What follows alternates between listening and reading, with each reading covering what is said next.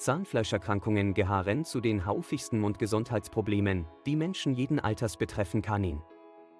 Eine gesunde Mundhygiene spielt eine entscheidende Rolle bei der Vorbeugung und Behandlung von Zahnfleischerkrankungen. Aber was passiert eigentlich im Mund, wenn das Zahnfleisch in ein Viertel endet ist und wie können Zahnärzte diese Erkrankungen behandeln?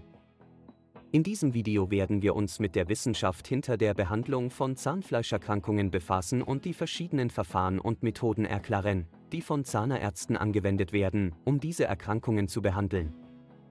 1. Ursachen von Zahnfleischerkrankungen Zahnfleischerkrankungen werden durch bakterielle Infektionen verursacht, die zu Enza ein Viertelendungen im Zahnfleischgewebe FA ein Viertel Renkanin. Zu den häufigsten Ursachen von Zahnfleischerkrankungen gehören unzureichende Mundhygiene, Rauchen, genetische Veranlagung, hormonelle Verandierungen und bestimmte medizinische Bedingungen wie Diabetes. Wenn Zahnfleischerkrankungen nicht behandelt werden, können sie zu schwerwiegenden Problemen wie Zahnverlust FA ein Viertel Renn. 2.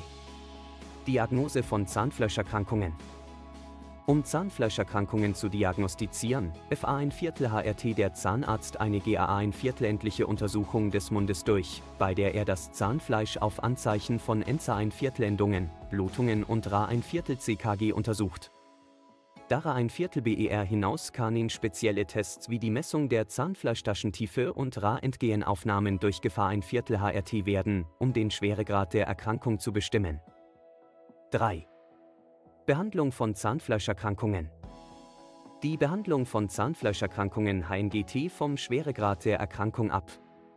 In den Fra ein Viertelhen Stadien kann in Zahnfleischerkrankungen durch eine GAA ein Viertelendliche Reinigung und eine verbesserte Mundhygiene kontrolliert werden. In fortgeschritteneren FA-Len kann in jedoch spezielle Verfahren und Methoden erforderlich sein. Zu den gängigsten Behandlungsmethoden gehören Professionelle Zahnreinigung. Bei einer professionellen Zahnreinigung entfernt der Zahnarzt Plaque und Zahnstein von den ZA-Ninen und unter dem Zahnfleischrand, um die Enza-Einviertelndung zu reduzieren und das Zahnfleischgewebe zu gesunden.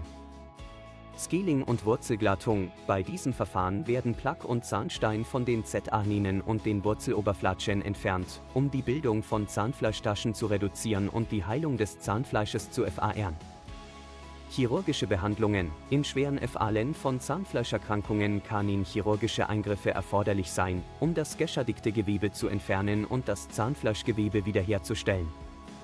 Antibiotikatherapie. In einigen FALen kann Antibiotika verschrieben werden, um bakterielle Infektionen zu bekämpfen und die Heilung des Zahnfleisches zu unterster ein Viertel 10. 4.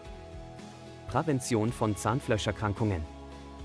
Um Zahnfleischerkrankungen zu vermeiden, ist eine regelmäßige und GAA ein viertelendliche Mundhygiene unerlässlich. Dazu gehört das tägliche ZA-Putzen und die Verwendung von Zahnseide, um Plaque und Bakterien zu entfernen. Dara ein Viertel BER hinaus ist es wichtig, regelmäßige Zahnarztbesuche FA ein Viertel eher professionelle Zahnreinigungen und Untersuchungen wahrzunehmen, um Zahnfleischerkrankungen fra ein Viertel zeitig zu erkennen und zu behandeln. Zusammenfassend la SST sich sagen, dass die Behandlung von Zahnfleischerkrankungen eine Kombination aus GAA ein viertelendlicher Mundhygiene, professioneller Zahnreinigung und gegebenenfalls speziellen Verfahren und Methoden erfordert.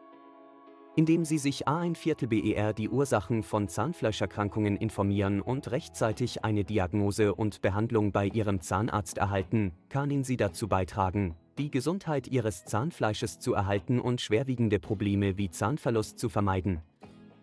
Denken Sie daran, dass Prävention der Schla ein Viertel SSL zur langfristigen Mundgesundheit ist.